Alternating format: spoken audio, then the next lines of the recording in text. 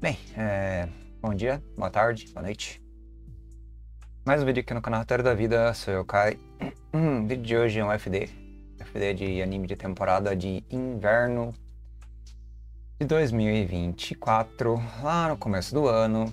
E tô quase acabando, falta só mais um, talvez, além desse, se eu não me engano. Eu acho que vale a pena fazer review. Esse aqui eu fiquei na dúvida se fazia ou não, mas por um motivo bem pontual vou fazer. É o Shaman King Flowers, como já tá no título. Que é a continuação do Shaman King clássico. E o porquê que eu tô fazendo esse vídeo. E porque eu tô gravando esse, esse review de Shaman King, review bem tosco, porque eu não lembro quase nada do anime. Porque, ao contrário de Naruto, onde Boruto, uma porcaria, Shaman King Flowers, ele consegue manter praticamente tudo que o Shaman King clássico tinha. É uma das melhores continuações que eu já vi de um mangá que acabou. Tipo assim, acabou mesmo, tá ligado? Não é spin-off, é continuação e é continuação com alguma amarra, tem critério, tá? Muita coisa em Shaman King Flowers faz sentido. Assim, muita, muita, muita coisa faz sentido. Eles conseguem expandir o cenário, aprofundar o cenário, dar uma utilização pro vilão que venceu o combate, dar uma utilização pro Shippuden, não Shippuden não, pro Boruto da vez, que é o, o Hana, que é o filho do... Ah, qual é o nome do pai dele? Do Yo, Yo Sakura. Tá aqui na minha cara. Com a Ana. A Ana e o Yo têm um filho e o Hana é o filho dos dois.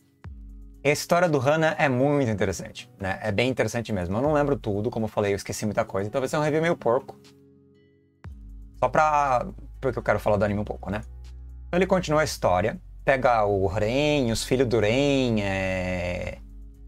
pega outros xamãs para fazer uma equipe de quatro xamãs, pega uma xamã que é sucessora da Ana, e usa cinco espíritos ao mesmo tempo, que ela é mais dos pates, né? Ela tem mais vínculo com os pates, né? Que são os, os xamãs no sentido indígena, né? Do, do termo. Ele traz personagens antigos. Não apresentou tudo ainda, né? Não sei como é o mangá, mas o anime não apresenta todos. Aqui tá o Chocolov, né? O Ren, o Cara de Gelo, o próprio Yo, a Ana, essa aqui, ela fica muito foda, essa personagem, que era o parceiro romântico secundário terciário do Yo, que nunca se vinculou, e o Yo também, da Espada de Madeira. E aqui no canto, o Cabelo Verde, esqueci o nome dele, que era o cara que usava uma coisa teleguiada lá com a fadinha. E o filho deles, dos dois, que é o pequeno Hana, né? Cara, eu achei que eles fizeram tanto no cenário, no sentido de matar personagem, matam personagem, no sentido também de atualizar poderes. Essa mina tá muito forte. Eu não lembro o nome dela. Vou ver se eu acho o nome dela aqui. Ela tem que estar tá aqui, porque ela é protagonista agora, né? Eu deveria estar, mas não está. e aí pegam um monte de personagens novos, como a Alumi, que é a discípula da Ana, como o Amidamaru re, re, reutilizado, né? O Hal também como deus ainda como um deus, né? Porque ele é o deus xamã, né? O Shaman King. O Oriental, eu não lembro se eu vi ele no anime ainda, mas eu vi o filho dele. O filho dele é interessante, o filho dele com Iron Maiden. Eu achei bizarro ele fazer um filho com Iron Maiden, né? Que é a moça lá dos xamãs uh, dos anjos, né? Era chefe do xamã dos anjos, né? Angelicais lá. E também tem aquela mina do Buda lá, que eu não lembro o nome dela também, que ela tem ecos, né? Tem vários ecos nesse Shaman Flowers da história original. São ecos que fazem sentido. É, o Hana mesmo ali é um, entre aspas, é um reencarnado, né? Eles mostram os círculos do inferno da, da alma, depois que o Hana é, vai para o mundo dos espíritos, né? Como espírito. Ele vai buscar um herói novo, porque o Amidamaru foi perdido. E aí tem o arco do herói novo, que é um piloto de caça japonês do A Caça Zero, né? Aqueles caças suicidas da Segunda Guerra Mundial. Fora isso, tem os outros personagens que tem arcos legais também. É... Tem uma galera que é os filhos bastardos do ramo da família do Hana e do próprio Yu, que é o ramo que é do Hal, se não me engano. Querendo tombar o, o, o Hana como é, o herdeiro, alguma coisa assim, não lembro especificamente. Esses caras temos aqui. É...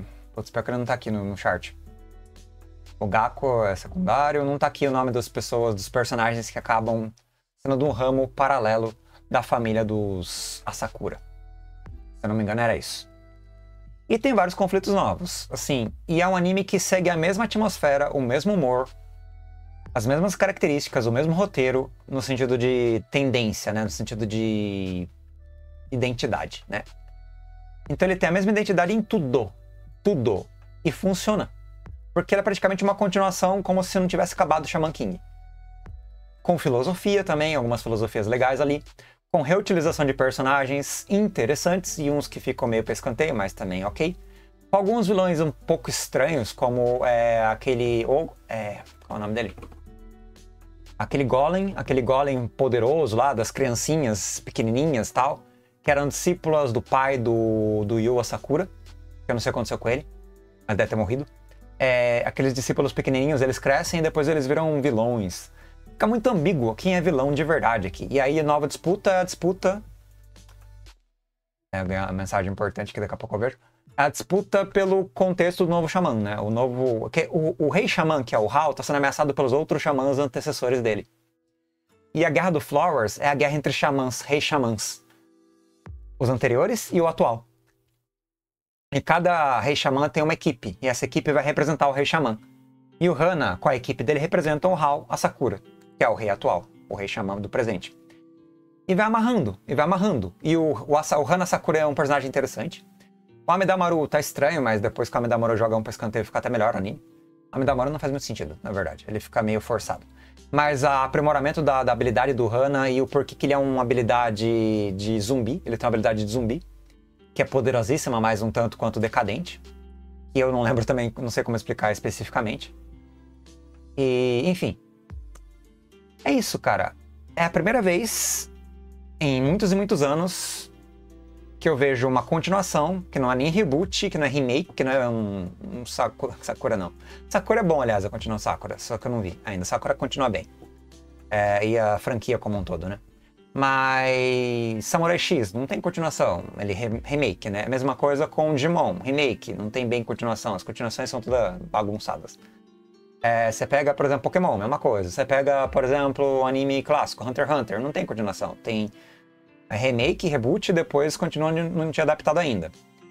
É, Fullmetal Alchemist, mesma coisa, eles adaptam o mangá depois, adequadamente. Então, mangá que acaba e tem de fato uma continuação, tipo Alita Battle Angel, tipo expansão do cenário mesmo.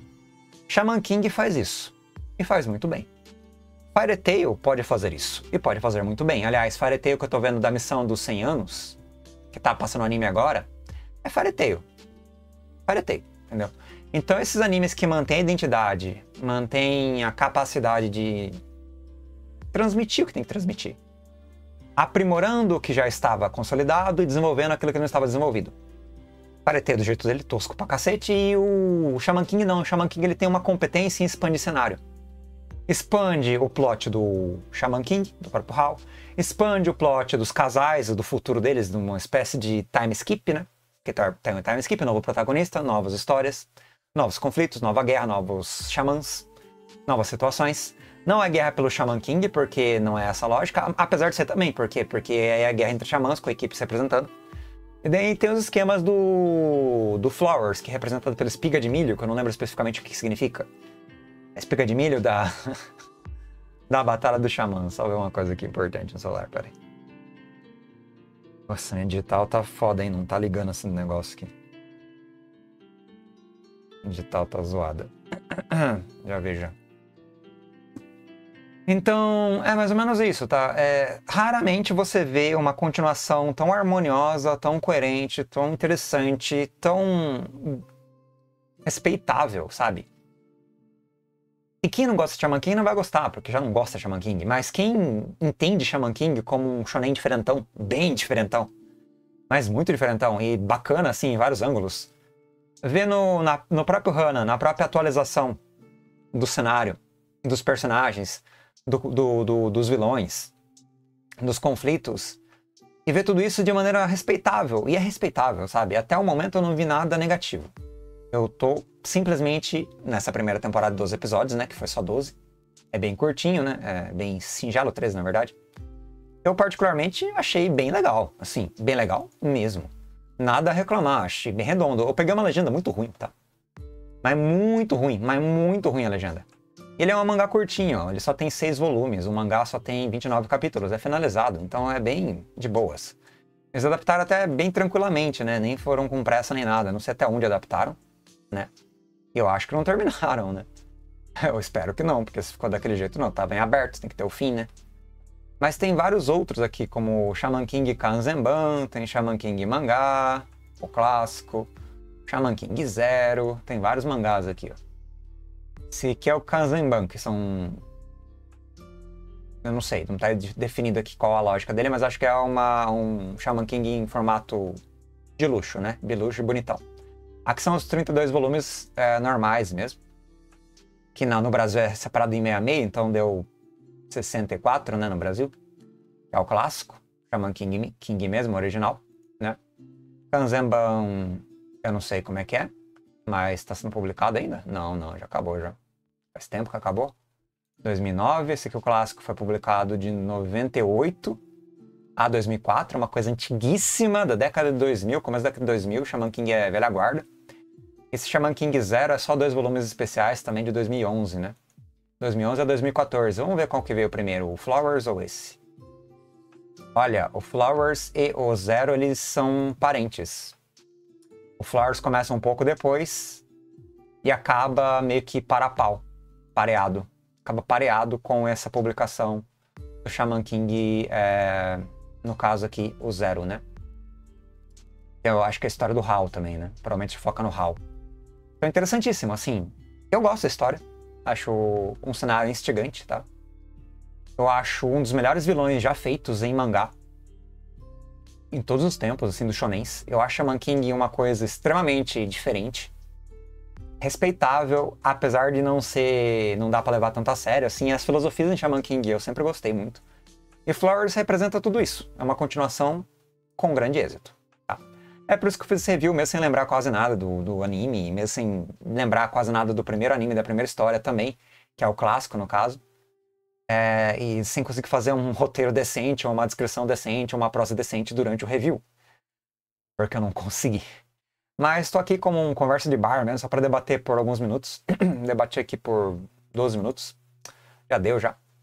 É, vou debater mais uns dois, talvez mas só para trazer de volta esses elementos que são sim arredondados e bem colocados e bem distribuídos e consolidados no Shaman King Flowers. É um dos melhores é, reutilização de personagem canon, né? Porque são personagem canon, reutilização dos personagens, repaginamento, é, retomada, ao mesmo tempo que eles estão datados, né? Porque os personagens antigos não podem mais ser protagonistas. Então eles dão lugar para os novos personagens e fazem novamente é, uma, um esquema ali com os novos desafios para a nova geração. Por isso que é um Boruto da vida, né? Uma nova geração. Né? Não é um Shippuden, é, não é a fase adulta do, do Yu, do Yo e da Ana. Não é esse esquema. O esquema é ser Boruto, o esquema é ser uma nova geração, os filhos dos protagonistas da, do antigo anime. Como se você pegasse, por exemplo, os filhos do Ishigo Koinoe, né, do Bleach, ou pegasse os filhos do, do Ao com a... esqueci o nome da menina do Fullmetal Alchemist os filhos do, do Yusuke com a menina do Yu Hakusho, que esqueci o nome também. Né? Que foi mal, eu esqueci o nome mesmo. Mas aí a nova geração seria o Boruto da vida, né? Que é o Boruto, filho do Naruto com a Hinata, no caso, né? Então, é uma franquia infinita, em parte, né? Dragon Ball fez isso. Dragon Ball fracassou miseravelmente, porque ele tentou fazer com que o Gohan fosse o protagonista depois do Goku, e não conseguiram. Tipo isso, resetaram o Gohan. O Gohan era o novo Goku, ali no, na, na saga do céu, né? Mas resolveram que o Goku continuava. E o Goku tomou o protagonismo na saga do Majin Buu de novo. Então, não conseguiram tirar o Goku de cena. E o Gohan foi jogado para escanteio. Aliás, destruíram com o Gohan. Tudo que construíram no Gohan na saga do céu foi jogado no lixo nas outras sagas. Deram uns apelaçãozinha ali para ele e tal, mas não serviu mais para nada, né? Então, Dragon Ball fracassa miseravelmente em fazer a sucessão, passar o bastão. E Boruto fracassa também miseravelmente porque passa o bastão e Boruto é ruinzinho. Forçadinho. E Shaman King não. Shaman King passa o bastão e é bom. Não é um time skip. Digimon tem o time skip, né? Que são os filmes, né? Pokémon tem a aposentadoria do Ash, daí é, não, é bem, não é bem filho, mas é a nova geração, né? Pokémon infinito, né? E Shaman King, no caso, de fato consolida e mantém uma continuação fidedigna. Claro que eu não terminei a obra, não sei se ficar ruim o fim, né? Porque o anime apresentou só três episódios. Mas eu não tenho certeza não, acho que é um arco só, né? Que nem Fairy Tail também é um arco só. E acho que é mais pra reviver, assim, dar um respiro, né? E um respiro de, de décadas, né? Porque demorou pro cara voltar, né? Demorou uns 10 anos para fazer continuações, né? Então é interessante, respeito. E parece que tá pausado ali desde 2014, então já acabou, né? Acabou de novo agora, né? Não falta. Acabou acabado, né? Por assim dizer. E é isso, pessoas. Grato pela presença, desculpa me estender um pouco mais e só pra debater um pouco sobre Flowers mesmo. Como eu falei, eu não ia fazer um bom review porque. Pff, esquece. Faz parte. Mas é isso. Espero não ter zoado muito aí. A... É, ficar... Não fiquem irritados comigo e até a próxima, hein? Falou.